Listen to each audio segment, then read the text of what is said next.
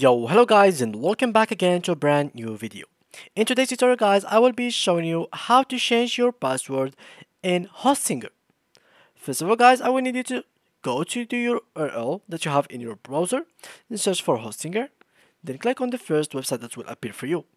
Now from here guys, as you can see this is the Hostinger official website. Here you can buy hostings, VPS, email, domain.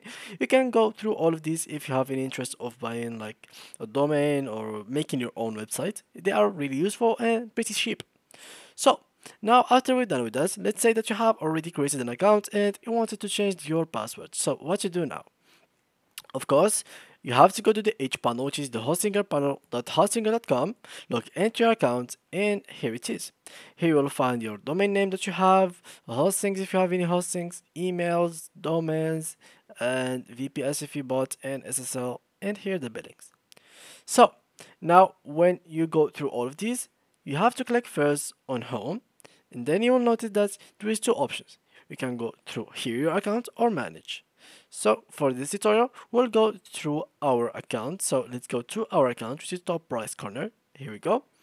And as you can see, account information, security, account sharing, account activity, and so on. Here, all I'm going to do is click on account information. And here you will find personal information, account settings. So here we find the account settings. Here to be able to change your password, all you need to do is go down below the email. You find here change password. So all you need to do is click here put the current password that you have and simply here enter the new password that you want to put. And then simply click on confirm. And after that they will send you an email to your uh, email uh, to your email address that you have over here. You just have to go there activate it and accept the terms that you are the one who changed the password. And just after that the password shall be changed and everything will be good. So guys that was it for today's video. If you enjoyed please leave a like and thank you guys for watching